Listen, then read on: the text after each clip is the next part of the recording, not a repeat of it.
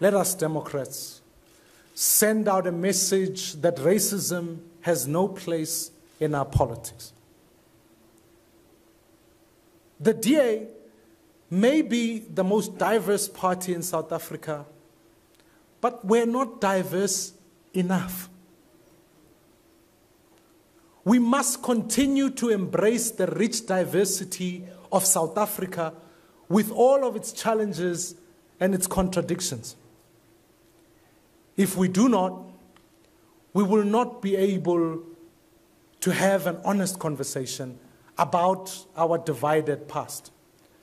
Nor will we be in a position to craft our shared future.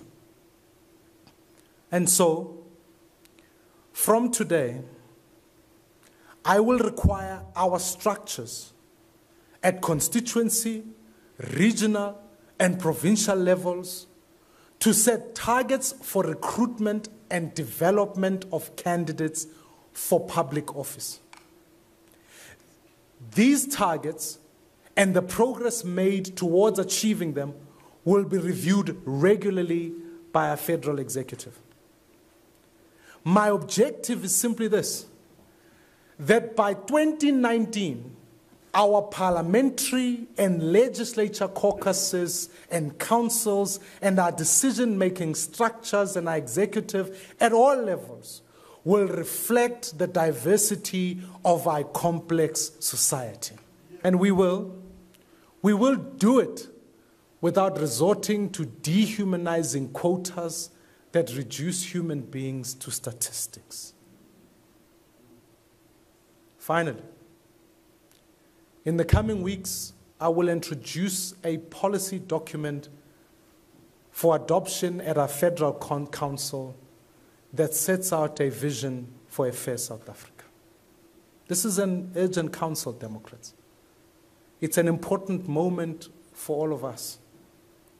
This document focuses itself as a plan to overcome the structural inequalities that continue to divide us. At the heart of it is the recognition that the majority of black South Africans remain locked out of opportunity.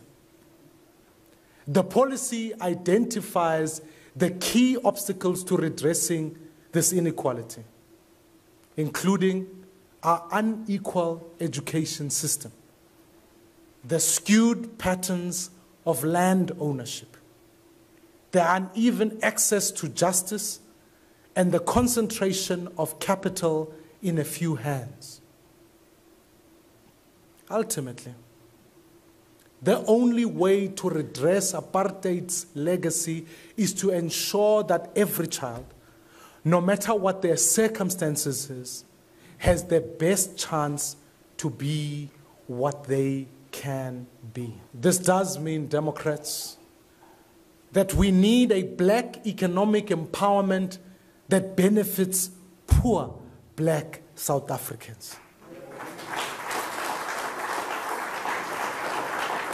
not the politically connected, not the elite, but we really begin to address the structural inequalities and benefit the poor in our country. It means that we must ensure that black South Africans benefit from an efficient and sustainable land reform program. It means for our governments and for everywhere we are, we must focus on spatial development that undoes the separate and unequal development of apartheid. It means ensuring that our children receive an education that prepares them to compete with anyone in the world. And it does mean that we'll be building an inclusive and a growing economy that creates jobs so that every single one of us can prosper together. Bagaitsu, fellow Democrats, South Africans, in conclusion, there can be no denying that we stand at a difficult juncture in our history. But I know we can overcome any challenge if we stand together. We have done it before, and we shall do it again. I draw inspiration from the first treason trial in 1956. We must never forget that black, white, Indian, and colored South Africans stood trial together that year.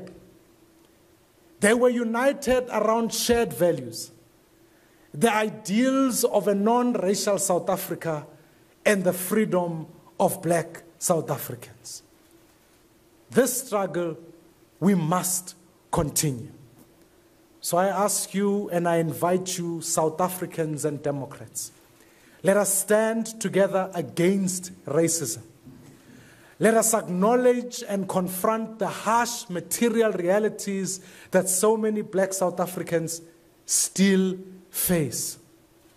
Let us find each other again and let us build a nation where we can prosper together.